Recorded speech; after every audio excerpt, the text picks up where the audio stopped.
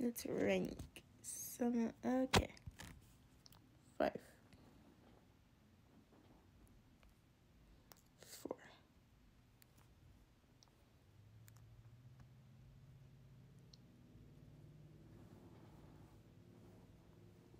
Hmm.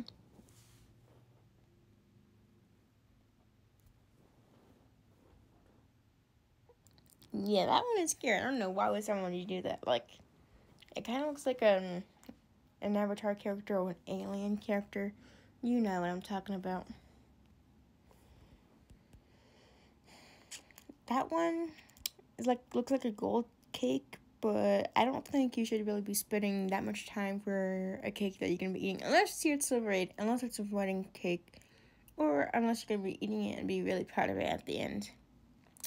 Then you know.